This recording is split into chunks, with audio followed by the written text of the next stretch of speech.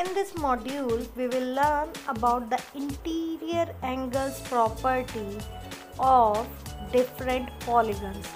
That is how to find the sum of interior angles of polygon. Look at the given figure. It is a triangle. And you very well know that the sum of the angles of a triangle is 180 degree. That is angle ABC plus angle BCA plus angle CAB is equal to 180 degree. Now we will prove that the sum of the angles of a quadrilateral is 360 degree. But how? You know that a quadrilateral can be divided into two triangles and the sum of the angles of a triangle is 180 degree sum of the two triangles will be 2 into 180 degree that is equal to 360 degree. This is the reason why a quadrilateral has angle sum as 360 degree.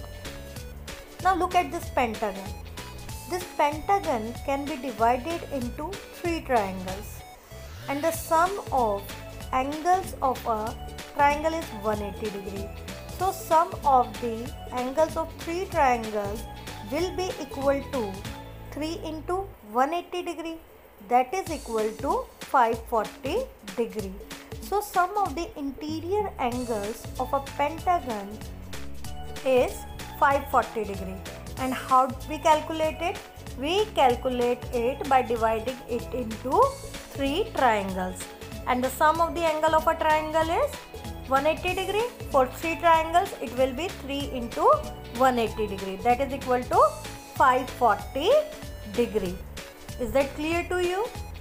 Now our next figure is hexagon. A hexagon can be divided into four triangles. Now you can easily find out the angle sum of a hexagon which is equal to the sum of the angles of four triangles that is 4 into 180 degree which is equal to 720 degree. Have you noticed one thing that pentagon has 5 sides and the number of triangles it can be divided is 5 minus 2 that is equal to 3 triangles. Similarly, if you look at a hexagon, hexagon has 6 sides. Isn't it so? And when we subtract 2 from it, we get 4 and a hexagon can be divided into 4 triangles. Similarly, an octagon, it has 8 sides, 8 minus 2 is equal to 6. So, it can be divided into 6 triangles and the sum of the angles of an octagon will be equal to 6 into 180 degree that is equal to 1080 degree.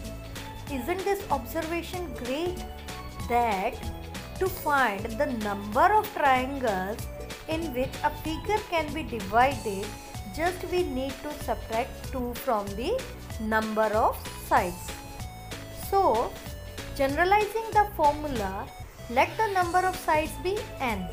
Polygon will have n minus 2 triangles and sum of the interior angles will be equal to n minus 2 into 180 degree. For example, we are taking a pentagon. It has 5 sides. 5 minus 2 into 180 degree. That is equal to 3 into 180 degree which is equal to 540 degree.